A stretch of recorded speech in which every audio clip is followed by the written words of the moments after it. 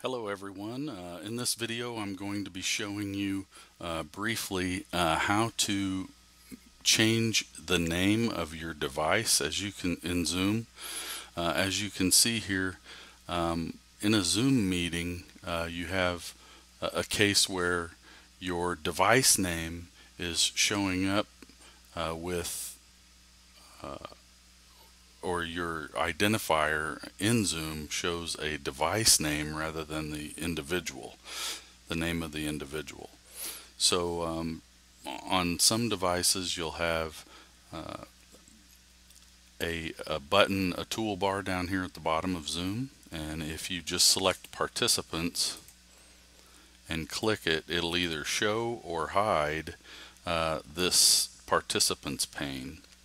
And so what we're going to do is make sure that that's visible. And I'm going to go up here, and this is my device name uh, right here. And so what I'm going to do is I'm just going to click rename, and then I'm going to change that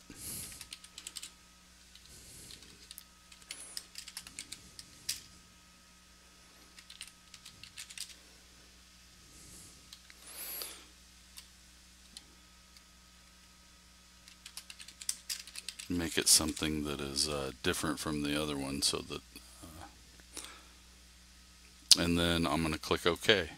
And as you can see up here uh, the the name has been changed. So wherever your participants uh, button is that menu or that uh, link that opens up this panel on some devices it's in one location on this desktop it's down here at the bottom. Um, so but wherever you hide and show your participants uh, that's where you're going to look. It'll be right by your device name which is usually at the top if you're the individual uh, that is looking at the participants. It'll it'll put you at the top. And so you just go over here and click rename and you can rename that to whatever you want. There is another way that you can do it and I'll show you how to do that in just a uh, I'll show you how to do that next. Uh, you can do it when you're signing into a meeting, so we'll cover that um, next. So when you're getting ready to join the meeting uh, using the Zoom app, you'll see this uh, login information. Now, if you're joining a meeting, you just click the Join Meeting uh, button, and then you'll get this box right here and you basically just enter in the name of the or the ID of the meeting. And then you enter your name here. Now if your device comes up like let's say I was on a Galaxy uh, tablet sometimes your device will be in here but if you change this to something else, uh, when you're before you join the meeting, you can put your name in there. So I'll just put the name in there.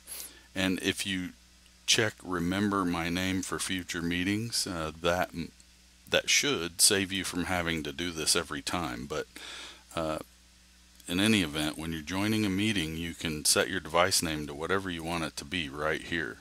And so I'm going to hit join.